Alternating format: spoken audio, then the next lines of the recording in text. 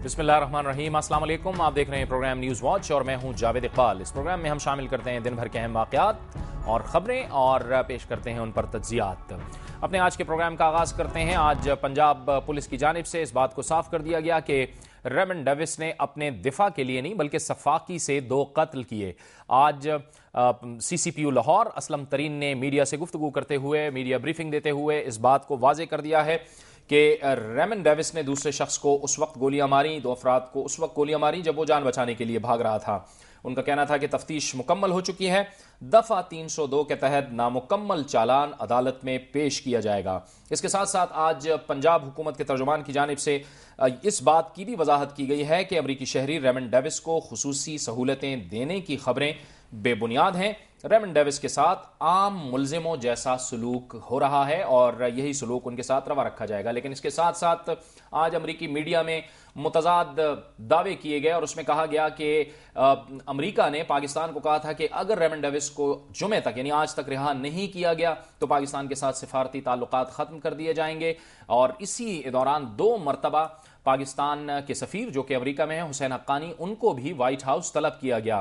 ताहम इन खबरों की तरदीद की गई है अमरीकी सिफारत खाने की जानब से भी और अमरीका में पाकिस्तान के सफ़ीर हुसैन हक्कानी की जानब से भी उन्होंने दुनिया न्यूज़ से गुफ्तु करते हुए कहा है कि इस तरह की धमकी देनी होती तो उन्हें व्हाइट हाउस नहीं बुलाया जाता। ऐसी कोई बात नहीं हुई। पाकिस्तान के वजारत खारजा ने भी इस बात की तस्दीक कर दी है कि ऐसी कोई बात नहीं हुई। अब जबकि पंजाब पुलिस की जानब से यह साफ़ कर दिया गया है कि रेमन डेविस ने अपने दिफा के लिए नहीं, बल्कि सफाकी से कत्ल किए। इन्हीं मामला को लेके और बैन अवी कानून के तहत अब आने वाले दिनों में क्या हो सकता है इन तमाम मामला पर बात करने के लिए आज हमने अपने स्टूडियोज में दावत दी है। पाकिस्तान के मुमताज़ कानूनदान हैं जो कि बरतानिया के अंदर प्रैक्टिस करते हैं।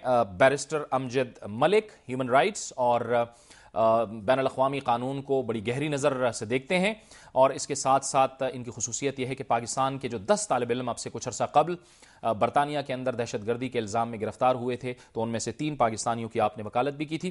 बैरिस्टर साहब आपको हम अपने प्रोग्राम में खुश आमदेद कहते हैं। इससे पहले कि आपसे गुफ्तु का आगाज़ करें हम चाहेंगे कि आपको और अपने नाजरीन को जो सी सी पी ओ लाहौर हैं असलम तरीन उनकी वो प्रेस ब्रीफिंग जो उन्होंने आज की है उसका वो हिस्सा सुनाएँ जिनमें उन्होंने इस बात को साफ़ किया है कि रेमन डेविस ने अपने दिफा के लिए नहीं बल्कि सफाकी से दो कत्ल किए हैं।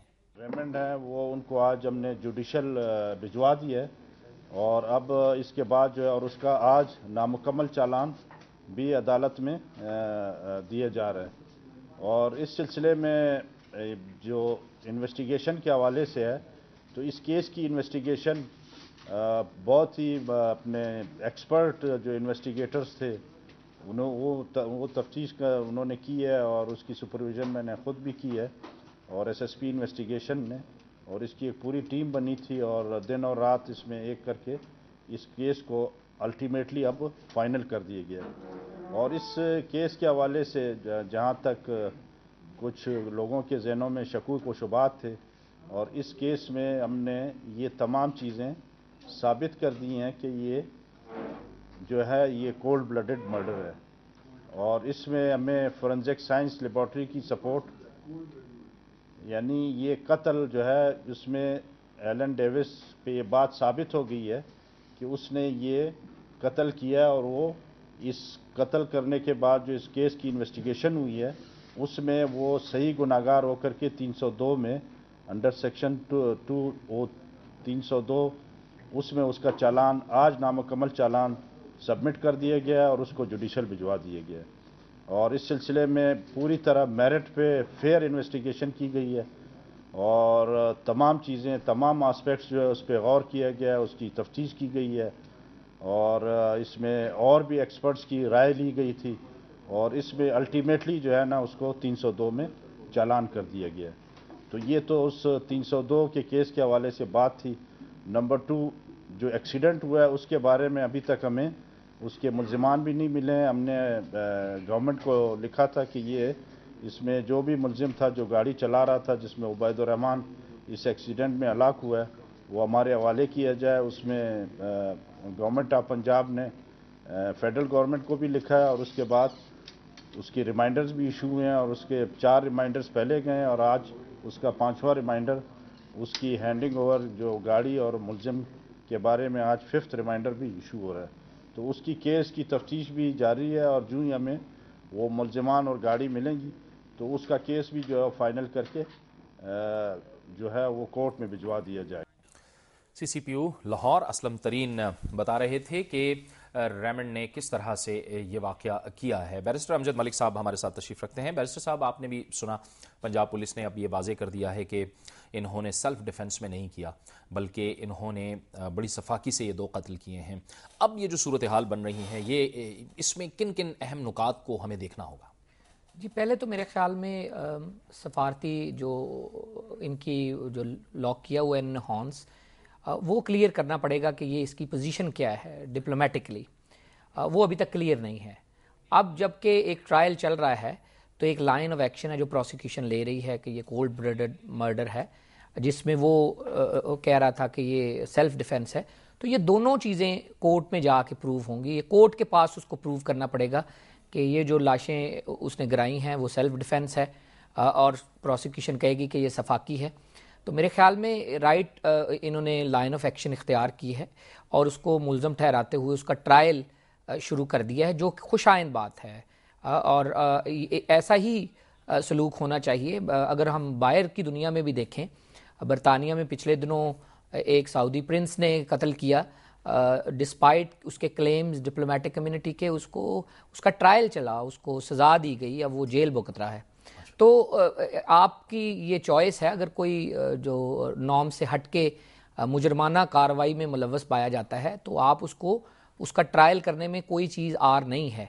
हाँ ये अलबत्त बात है कि ट्रायल होने के बाद कन्विक्ट होने के बाद जब सज़ा हो जाए तो ये गवर्नमेंट की सवाबदीद के ऊपर है कि अगर ये प्रूव हो जाए कि उसके पास सफारती कागजात या इस्तना था तो उसको उस मुल्क के हवाले कर दे। लेकिन इस इस केस में तो इतनी ख़तरनाक बात है कि लाशें गिरी हैं उसके ऊपर फ़हीम की नोब्याहता ने भी खुदकशी की है।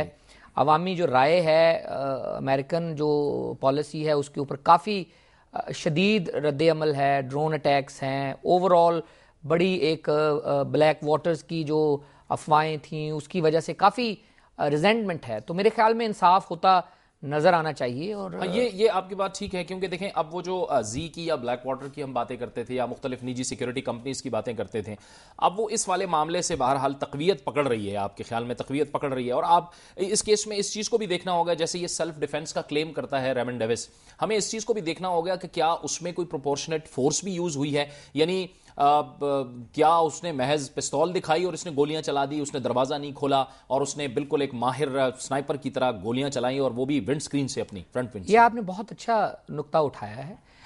दोनों लड़के जो वहाँ पे घूम रहे थे अगर उन वो आम भी थे अगर उनका पास रिकॉर्ड भी छोड़ दें तो ये देखना पड़ेगा कि वो किस तरह की धमकी उन्होंने रेमन डेवस को दी या रेमन डेवस को किस तरह का खतरा उनसे पहुँचा। कि उसने विंड स्क्रीन के ज़रिए गोलियाँ चलाने को फोकियत दी। मेरे ख्याल में गोलियाँ चलाना लास्ट रिजॉर्ट है, जबकि आप अपेरेंटली कोई डायरेक्ट फायर भी ना आपके ऊपर हुआ हो। किसी ने आपका दरवाज़ा ना खोला हो, शीशा ना तोड़ा हो, कोई ऐसी विटनेसेस के ज़रिए सामने नहीं आई, जिससे ये लगे कि एग्रेसिव फोर्स यूज़ की है अदर साइड ने। इस लिहाज से मैं समझता हूँ कि रेमन डेविस का जो एटीट्यूड है वो नॉर्मल नहीं है। कोई भी नॉर्मल सफारतकार कोई भी नॉर्मल आदमी इस तरह कोई किसी को दिखाता या धमकाता या अगर हम ये भी समझें कि उनकी कोई चीज़ें छीनने की कोशिश करता जबकि फोर्स यूज़ ही नहीं हुई अदर साइड से तो ये डिस्प्रपोर्शनेट यूज़ ऑफ़ फोर्स है जो नॉर्मल हालात में सिर्फ़ लॉ इन्फोर्समेंट एजेंसीज ऐसा करती हैं जब वो मुजरमों का पीछा कर रही हों। तो मेरे ख्याल में रेमन डेवस का जो एटीट्यूड है मेरे ख्याल में ये शो करता है कि उसकी ट्रेनिंग ऐसे मामला में है जहाँ पे क्विक रिएक्शन दिया जाता है, है। या कमांडोज या स्पाइज या हाईली ट्रेंड शार्प शूटर्स जो हैं ठीक है। वो ऐसी कार्रवाई करते ठीक है। मलिक साहब आप हमारे साथ मौजूद हैं हमारे प्रोग्राम में वक्त हो चाहता है एक ब्रेक का ब्रेक लेते हैं और ब्रेक के बाद इसी मौजू पर हमारी गुफ्तु का सिलसिला जारी रहेगा।